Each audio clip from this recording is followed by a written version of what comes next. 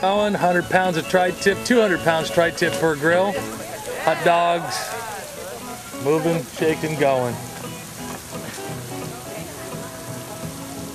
Santa Maria style all the way. Open pit. Another angle of the tri-tip. Tri-tip on tri-pits.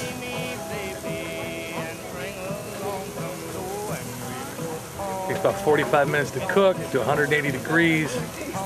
Santa Maria style seasoning, rubs, no barbecue sauce. Well, this one has black, white. Tri-tip close up. There you go. Yeah, that's perfect. Put a slice just right on your mouth, brother. Grilling hot dogs. Rolling hot dog. For the hot dog station, 1,500 hot dogs. Chicken, smoked, grilled, on the grill.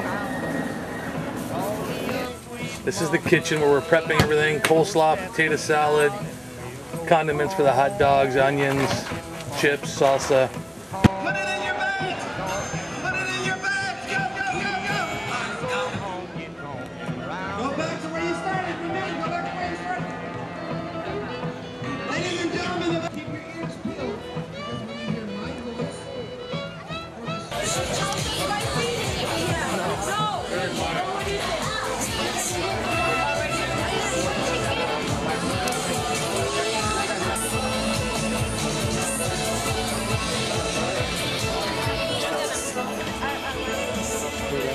Right.